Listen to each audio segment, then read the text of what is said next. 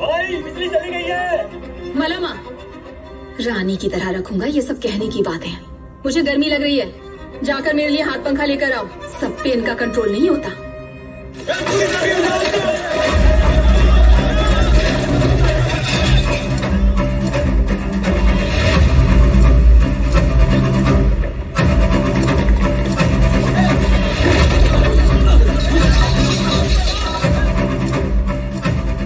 చెల్లమ్మ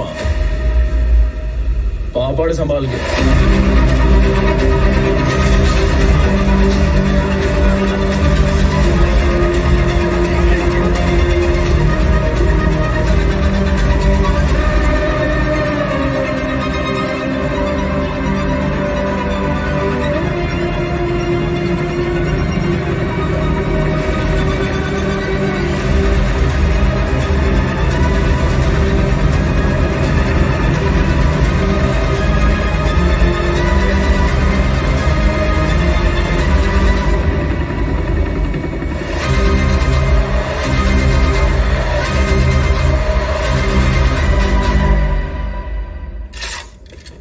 borders close कर दिए हमारे वेयर हाउसेस सीज कर रहे हैं।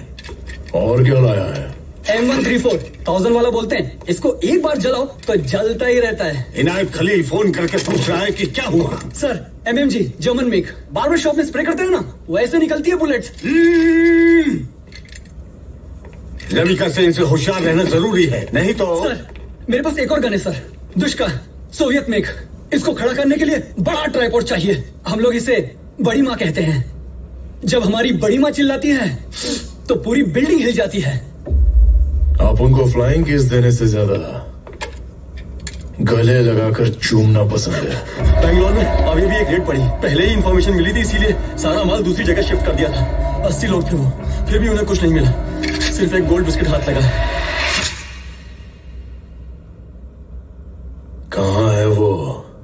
लड़कों ने पूरे माल को मैसूर शिफ्ट कर दिया है। वो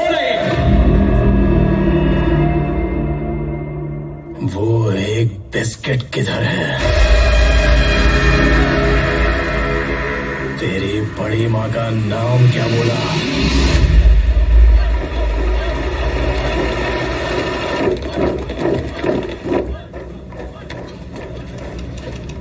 मैंने आज तक इतना बिल्डअप नहीं देखा। इन सीबीआई वालों ने तो हद कर दी।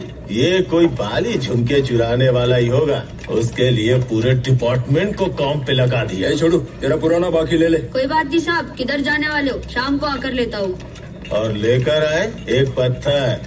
क्या नाम है उसका? पूरा नाम तो नहीं पता लेकिन फ़ाइल में मेंशन किया है कि कोई बॉम्बे का शूटर है सर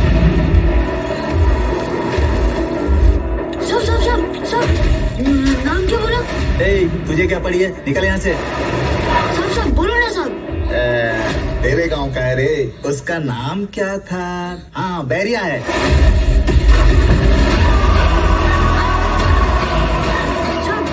आप लोग उसका कुछ लेकर आए हो? अबे सिर्फ़ तेरी ही कमी थी यहाँ बिल्डिंग टूट जाए ऐसा बिल्डअप देते हो।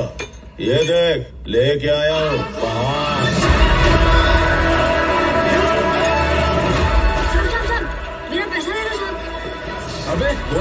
शाम को अभी दे दो सब शाम को कहीं रहेगा नहीं।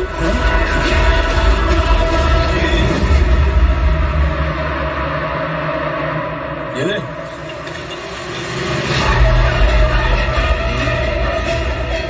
अबे चाय तो पीने दे। चाय से ज़्यादा ग्लास फेंका